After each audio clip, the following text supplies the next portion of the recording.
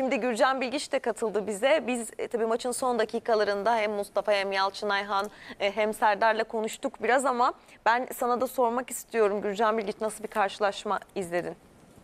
Valla yani klasik e, tek maçlık kupa maçıydı.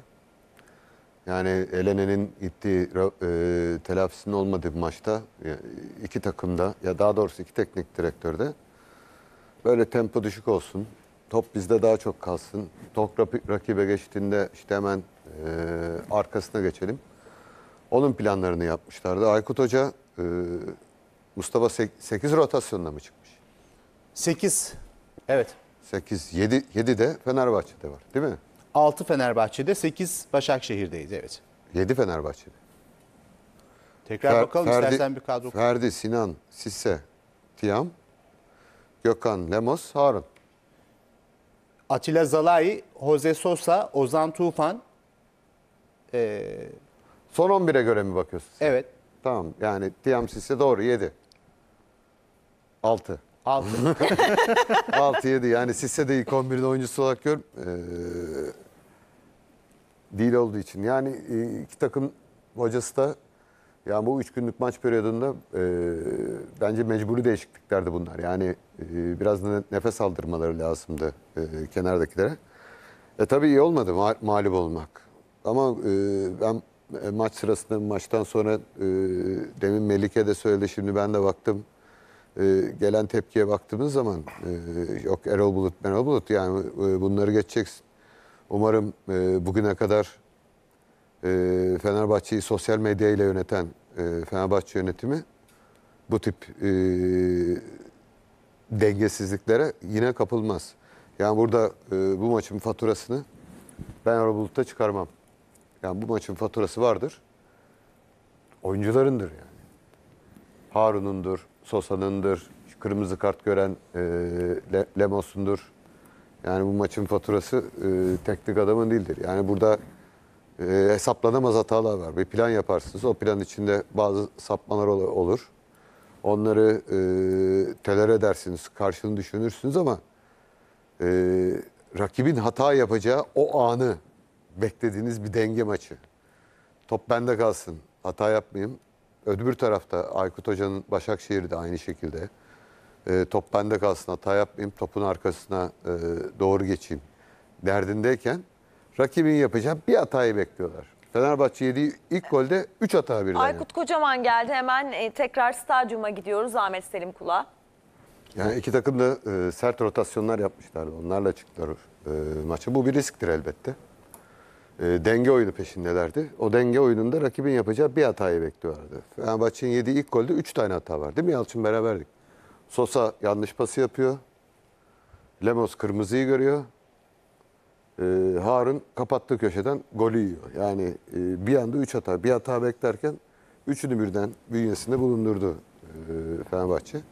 Ve 10 kişiyken e, Aykut Hoca sorunlardan bahsediyor ama e, Başakşehir takımı oynama alışkanlığı olan bir takım bir, birbiriyle.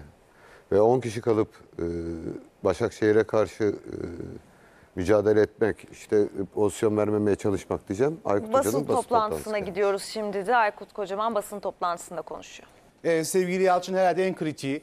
Ee, bugünün sahadaki sonuç e, bir teknik direktör başarısı değil. Oyuncuların geçmişten gelen pas alışkanlıkları, doğaçlama futbol alışkanlıkları bugün turu getirdi dedi.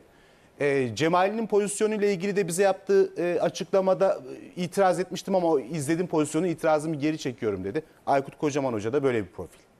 Yani Aykut Hoca gibi hocaların gerçekten çoğalması gerekiyor. Yani bugün kazanmış olması bunları söylemesini gerektirmiyor. Aykut Hoca kaybetse de aynı şeyleri söylerdi. E, bu anlamda kendisini tebrik ediyorum. E, çünkü futbolumuzun bu tür açıklamalara ihtiyacı var.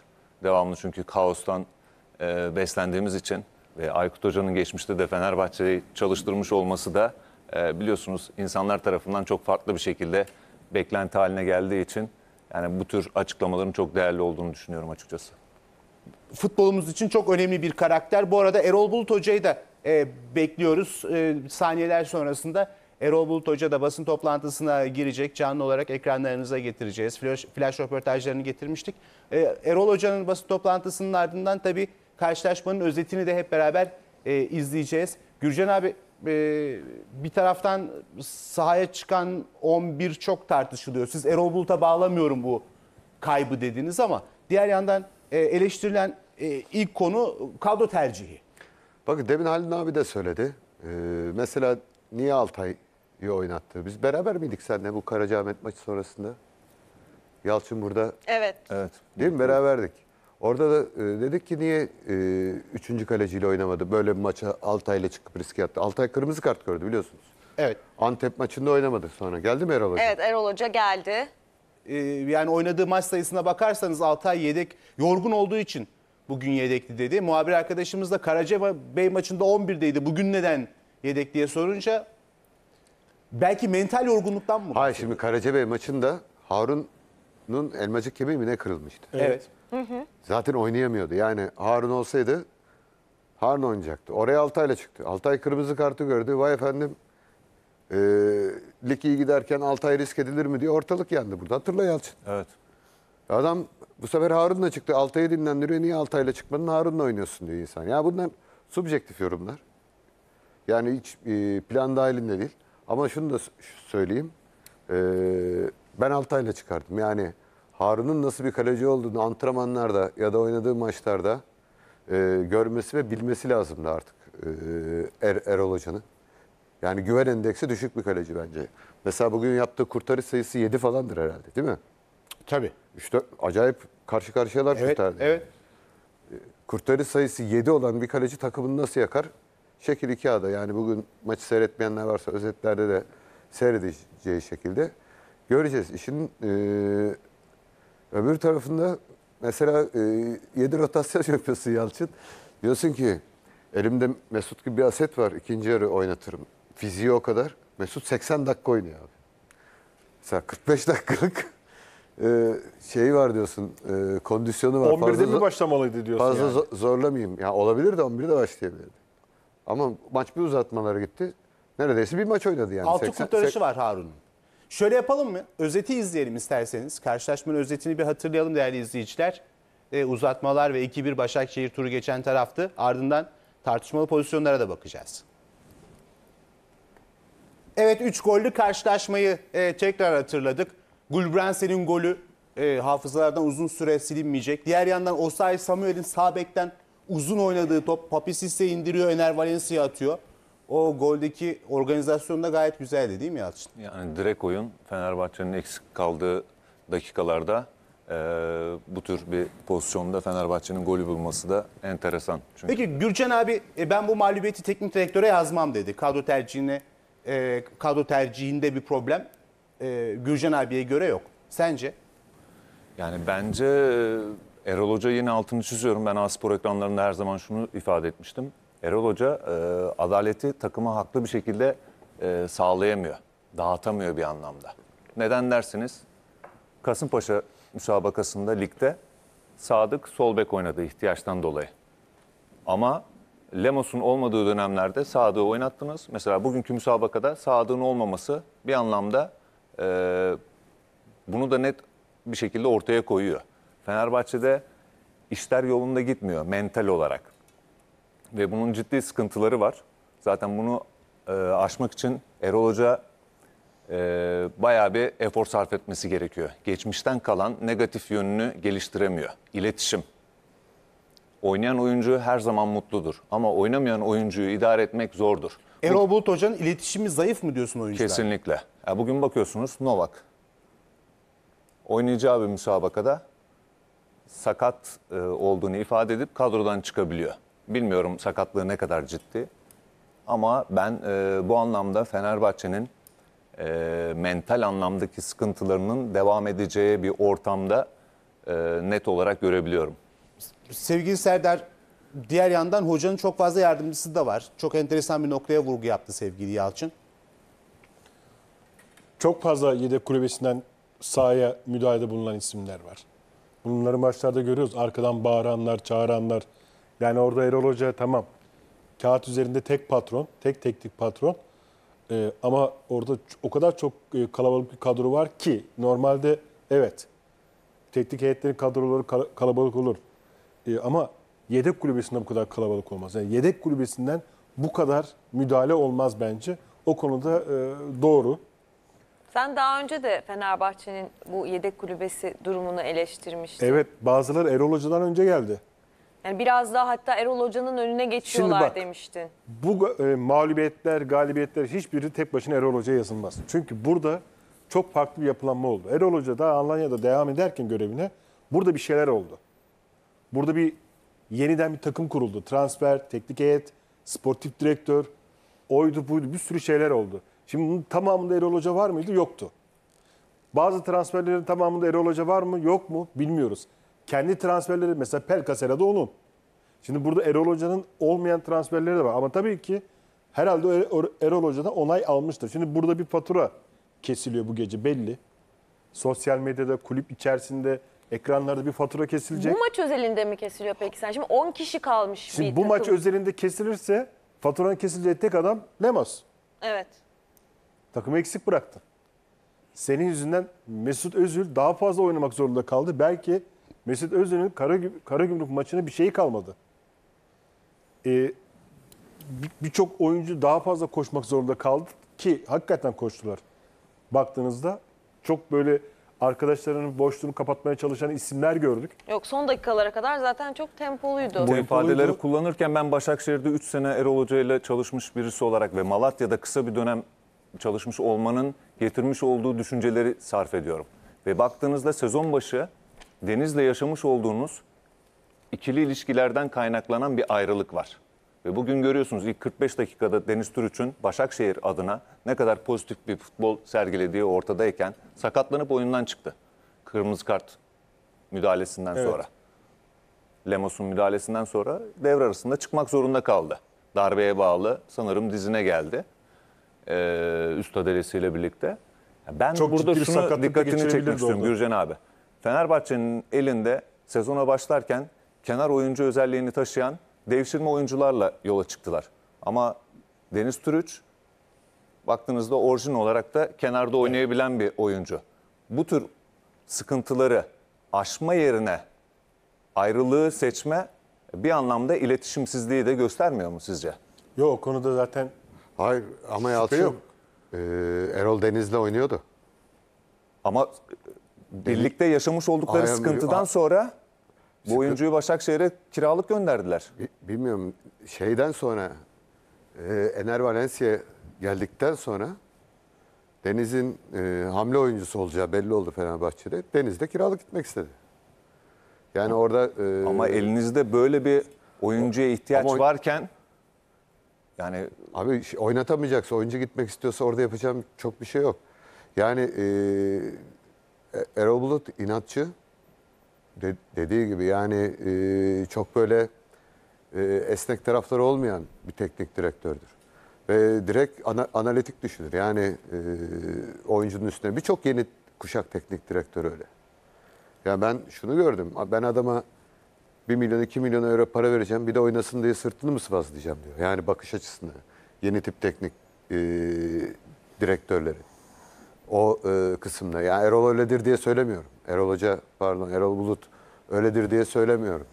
Ama mesela o arkada e, ki kalabalık ne işi var onların dediğiniz kalabalık. Esasında o iletişimi sağlayacak olanlar. Yani oraya Volkan Demirel'in gelmesi, Emre Belözoğlu'nun gelmesi, Selçuk Şahin'in gelmesi, Marco Aurelio'nun gelmesi bunlar e, son 10 yıllık dönemin efsane oyuncuları.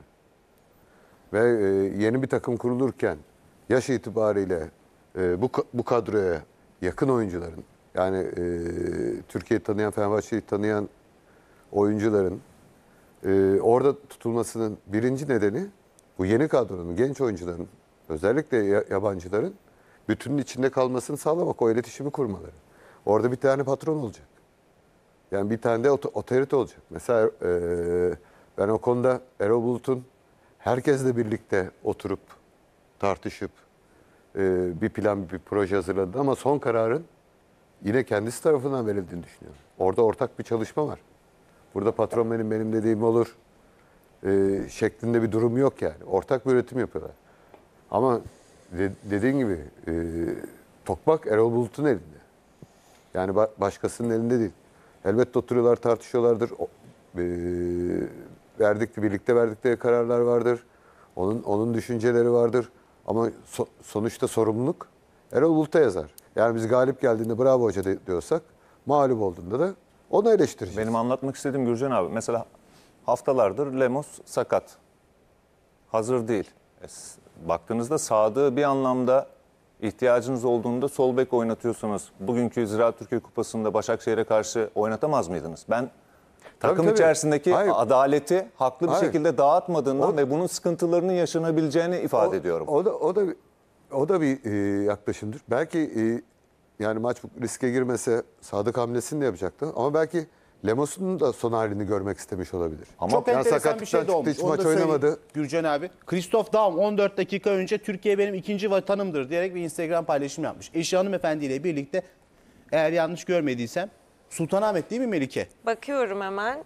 Ya Galiba Türkiye'de, Sultanahmet Camii. e, Türkiye'de çekilmiş bir fotoğraf yani evet Sultanahmet Camii galiba. Bayram değil, seyran değil. O fotoğrafı niye attın? Mı?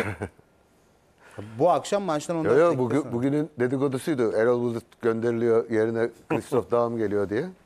Sonra Sonra- köpeğin tasmasını gördünüz mü? Hertha Hayır, Berlin. eğer bizi dinleyenler varsa inanmasınlar. Yani onu beyan olarak söyleyeyim yani. Böyle Yok bir, muhtemelen böyle bir durum yok. sosyal medyadan ona çok mesaj gitmiştir. Evet o da belki böyle O da bir... onu öyle Çıkmış bir- olduğumuz yayında da Taliska'nın bu Yine tür- Evet, etkileşim o- mi? Yine popülerist. etkileşim Hayır, kasıyor o aynen. zaman. Ya o, o kadar ga- garip ki e, Yalçın. Mesela se- sezon bitti. Ersun Yanal'la yollar ayrıldı. Ortalık yandı. Erol Bulut gelsin genç teknik direktör işte Alanya'yı şöyle yaptı. Bak aynı insanlar. Muhtemelen aynı insanlar. Sosyal medyadan yazan. Bugün Erol gitsin diyorlar. Aynı, benzer şeyleri e, yazıyorlar. Ya Aykut Kocaman onu söylediler, onu da onu söylediler. Ama buradan çıkacak mesaj şudur esasında. Erol Bulut da kendi adına ders almalı. Git, istifa et demek aslında bırak git demek değildir. Ya kardeşim diyor Fenerbahçe taraftarı ya da kim yazıyorsa mesaj yazıyor. Bir de trollemeler var biliyorsun. Böyle bir titi olayı titiye götürüyor sonra milleti peşine katıyorlar.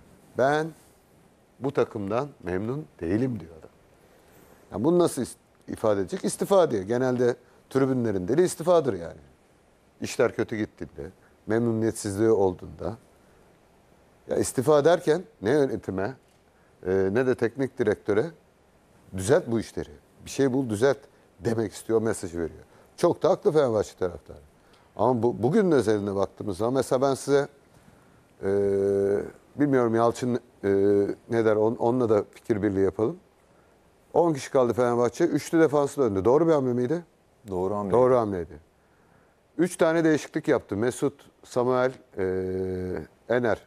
Doğru hamleler miydi? Baktığınızda Doğru 1-0 hamleler. gerideydiniz evet. 3-4-2'ye döndü. Mesut'u ikinci santrafor yaptı. Sisse'nin yanına. Doğru hamle miydi? Yani burada oyunu Son, en iyi bilen son 10 dakika doldur bo- boşalt da Ozan'ı çekti arkaya. Gökhan'la beraber. Serdar Öner. Serdar Aziz'i santrafor yaptı. Doğru hamle miydi? Doğru hamle. Tutmadı abi ne yapacaksın? Peki o Yani zaman e, ondan bir sonra bakalım yapıp, yapıp, isterseniz. yapabileceğim bir şey yok yani. Sen bu maç özelinde Karşılaşmaya. söylüyorsun bunu tabii. Tabii canım yani. Ama taraftarlar da sosyal medyadaki paylaşımlarla Onlar sezon biraz başından daha beri gelen. Sezon evet yani Hayır, diğer ya maçları geneli da konuşuyorlar. Ya, şey tabii o herkesin e, kendi fikri vardı. Ben e, Fenerbahçe'nin oynadığı futboldan memnun Yani olan bugünkü- taraftar görmüyorum. Ama şu var mesela bugün istifa ediyorsun Erol Bulut'a. 2-1 yenilmiş. E, daha bir ay önce 4-1 yendi aynı takımı Başakşehir'i. Evet. Evet aynı öyle. Ya o- aynı hoca. E o zaman ne, neydi yani? Bugün is- is- Her takım bu kırılmayı aslında Hayır yaşadı. bak Fener, Fenerbahçe Ersun Hoca ile şampiyon olduğundan Fethiye eğlendi Fethiye'ye. Ge- E, evvelki sene Ümraniye eğlendi. Gene Ersun Hoca ile. Ya, kupa, kupa maçı tek maçlık e, tek maçlık bir periyotta her şey olur yani. Maç 2-2 olsa e, penaltılar gitse gene de eğlenebilirdin. Volkan Babacan Harun'a baktığın zaman çok daha iyi bir penaltı kalecisi. Mesela o da- oradan baktığın Gürcan abi bilmiyorum katılır mısınız ama Fenerbahçe'nin oynamış olduğu bu oyunda Mesut Özil harcanır. Hocam Böyle, böyle oynarsa yazık adamı. Top Evet. atacak adam yok ya. Ya bak- defans yaptı. Efendim? De- defans yaptı bu maçta Mesut Özil. Sol bekten Yani top sol çıkardı. Evet. Evet. 50 metre depar attı ya. Yok yok yani Defansı Arsenal'de Şey- yaparsın Premier Lig'de ama Türkiye Ligi'nde Mesut Özil defans yapmak zorunda kalıyorsa abi bence sadece hoca ile ilgili değil. E, Ama- 10 kişi kalmanın sıkıntısını ciddi anlamda yaşadı. T- Tabii canım şimdi adam 45 dakika senin fizik gücünü 90 dakika yakın top oynattın adam bir. Mesut'un- Ama Mesut Özil'in esas alınma nedeni şu kalitenle bu takımı daha iyi oynat. Yani birinci, birinci neden o. İkincisi eee, çok ciddi 3 oyuncu daha girecek Fenerbahçe takımına. Gustavo gelecek, Pelkas, Pelkas gelecek, gelecek. İrfan Can gelecek. Evet. Yani yüzde 40 demektir yani bu Mesut'la beraber. Ee, o nedenle e, Fenerbahçe oyunun gelişmesi, oyuncu kalitesinin de e, gelişmesiyle bir- birlikte daha farklı noktalara gidecektir. Kimse panik yapmasın yani. Şimdi e, bayağı bir pozisyonumuz var tabii. Çok uzun süre oynanan bir karşılaşmadan bahsediyoruz. Ben sözü Mustafa Göksu ve Yalçın Ayhan'a bırakmak istiyorum. Karşılaşmanın e, tartışmalı pozisyonlarını hep birlikte inceleyeceğiz. Peki e, sevgili Yalçın'la birlikte ilk olarak e, Sinan'ın sol kanatta e, ki pozisyonda Ponk'la mücadeleleri ve yerde kalması e, vardı. Onu arkadaşlarımızdan rica edelim. İlk olarak o pozisyonu notlarımız arasına e, almıştık. Bu pozisyonda Sinan sol taraftan topla birlikte ceza alanına çok iyi giriyor.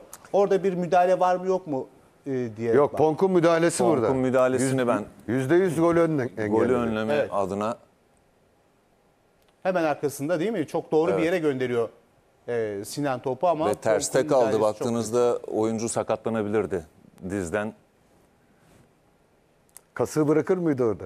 Yani Hadi Da- zemin de daha kötüydü. çok e, çapraz giderdi yani Allah korusun diz sıkıntılı bir pozisyon. Zemin de çok iyi değil değil mi? Evet. Hemen arkasında Tiam vardı bu arada. Top Tiam'a gidiyordu. İkinci pozisyonumuza bakalım.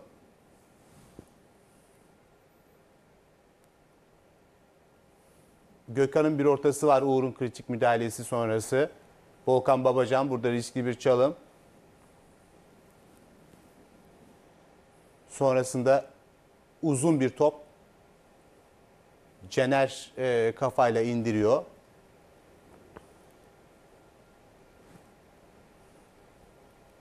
Demos, Gökhan.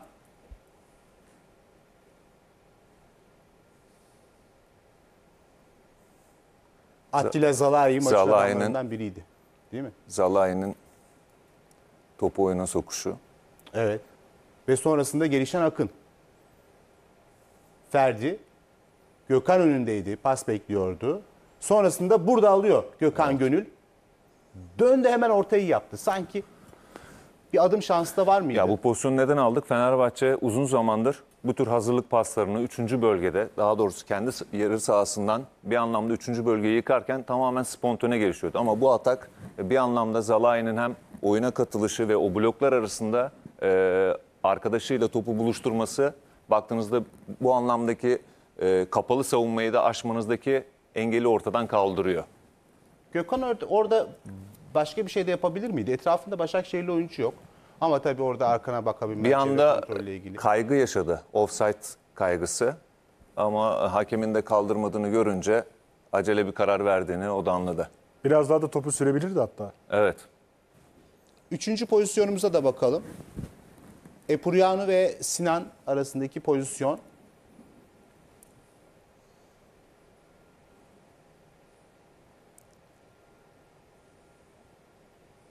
Burada Sinan yerde kaldı. Burada sarı kart yok. Olmalı mı olmamalı mı? Ama Fırat Aydınus da pozisyona çok yakın sevgili Yalçın. Evet. Yani oyuncuyu da uyarırken daha doğrusu itirazları ilk faulü gibi düşündü. Ama bu pozisyonda sarı kart da verebilirdi. Çünkü hata gelişimini önlemek adına yapılan bir faul. Buna benzer birkaç pozisyonda da yine e, foul bekleyen oyuncuya çok aldırış etmedi bu maçta Fırat Aydınus. Sadece ilk dakikalarda değil ilerleyen dakikalarda da. 13. dakika uyarıyla geçti. Gürcan abi sen ne diyorsun pozisyon için? Ben katılıyorum Yalçın'a. Kart, sarı bu. Umut vadeden hata kesmek adına yapılan faul. Kontrolsüz bir hareket çünkü. Çünkü e, şey buradan geçse bak pilottan göster 3'e 3 kalacaklar. İşte Bak şimdi da bak. geldi. Bak Sinan şuradan geçse Tabii. solda da Tiyan var 3'e 3 kalıyorlar yani. Evet. Ama hoca niye kart göstermediğini Gökhan anlatıyor orada. Evet. O acaba vücut dilinden anlayabilir miyiz? Orayı gösterse. Ha, ona göre umut vadeden atak değil demek yani. Bakayım çünkü orada çok böyle net e, Hem öyle hem de e, bu oyuncunun ilk faulü olduğunu da ifade etmiş olabilir. Ha bir de ilk pozisyonda hemen fa- Evet. sarı kartı gösteriyor. Ama çok doğru, Ederseniz çok 12. doğru foul dakika- değil mi? Tabii ki. Ha? Bak burada Gökhan geliyor şimdi. Acaba dönüyor. Evet. İşte bak Bak Anlatıyor. hakem hakem şunu yapıyor. İlk faulü dercesine parmağını. Bence mi? de. Çünkü zaten e, 10 dakikaya sanırım aşkın bir süre hiçbir şekilde faul olmadı. Teknik adamlar bunu söylüyor mu? Yani rakip yarı alanda hücumdayken topu kaptırdık erken faul yapın, o Yugoslav faulünü yapın diyorlar mı? Ee, yoksa oyuncular bunu saha içinde mi? Ya daha çok e, şu ifadeleri kullanıyorlar. Topu 3. bölgede kaptırdığınızda 5 saniye bir pres yapın. Bu taktik faul anlamında değil. Ama bazen işte bu tarz Epriano'nun yapmış olduğu koordinasyon e, hatası. Belki topu hareket etti ama adamın bir müdahalesi var. E, bu anlamdaki faul e, hocaların istediği bir şey değil. 3. bölgede daha çok bunu arzularlar. Kaptırdıkları yerde. Peki e, dördüncü pozisyonumuz Dembaba bir gol pozisyonu ve Mostan kritik müdahale geliyor. Ee, sevgili Yalçın. Buradan faulsüz temiz çıkıyor değil mi? Dembaba ikilemde kaldı. Acaba yanında herhalde Yusuf'tu koşu yapan. Evet. Evet. ikilemde kaldı. Bakın dikkat ederseniz zaten pas vermeye çalışırken Lemos kademeye girdi. Direkt de gitmeyi düşünüyordu ama Lemos'un da buradaki kademesi çok doğru. Pozisyonun başında da Yusuf e, Ozan'dan topu alıp Dembaba'ya kazandırıyor. Dembaba da tam senin söylediğin gibi bak burada ayak biraz tam Evet. sağ pas vermek Pas isterken vermek isterken. araya giriyor. Devam etse daha umutvari bir atak. olur. İkilemde kaldı ama Lemos'un da burada e, rakibin önüne geçmesi bu hatada e, bir anlamda engelliyor. Deniz'in bir pozisyonu var. Zalai'nin müdahalesi. Sanırım Zalai Lemos'un e, maç boyunca yapmış olduğu en doğru hamle burada yani. tek doğruyu burada gördük. Yani çünkü Fenerbahçe'de oynadığı sürede e, yapmış olduğu bireysel hatalardan e, Fenerbahçe'nin çok canı yandı. Yine bu pozisyonda Başakşehir'in hızlı akını var. Junior Fernandes alıyor. Lemos karşısında pası veriyor. Sonrasında Zalai. Ya burada o topa dokunamasa başka bir şey tartışıyor olurduk ama Zalai'nin bu tür müdahaleleri de çok çarpıcı. Burada en önemli söylememiz gereken şey e, pilota gelirsek şut vurulurken geriye gelelim biraz da. Ha, bir stoper olarak senin Zalai'yi değerlendirmeni çok önemsiyorum. Bugün bir ara sol bek oldu. Bir ara sol açık oldu. Bakın burada pas hatası 3. bölgede ve tek topla ben şurayı biraz geriye alabilir miyiz? Biraz Burada geriye alalım. Caner'in de Kalkarak da anlatabilirsin Evet. sevgili Yalçın. Evet şimdi pası verelim. Devam ettirelim. Sosa'nın hatalı bir pası. Burada iki oyuncu varken Sinan da ama bakın Sisse de burada bir alamıyor. defans oyuncusu hiçbir zaman içeride oyuncuyu aldırmaz. Defans oyuncusu Caner bu adamın içinde olup e, rakibini dışarıya atması lazım. Görüyorsunuz bu pozisyonun devamında Caner mi orada yanlış yerde duruyor? Evet yanlış pozisyon alması bir anlamda e, bu pozisyonun gelişimi. Bu, bu pozisyon gol olabilirdi. Ve en önce e, bu ifadeleri kullanırken burada da şut atıldıktan sonra Zalai'nin de pozisyonda kalmayıp takip etmesi pozisyonun çok değerli. Evet.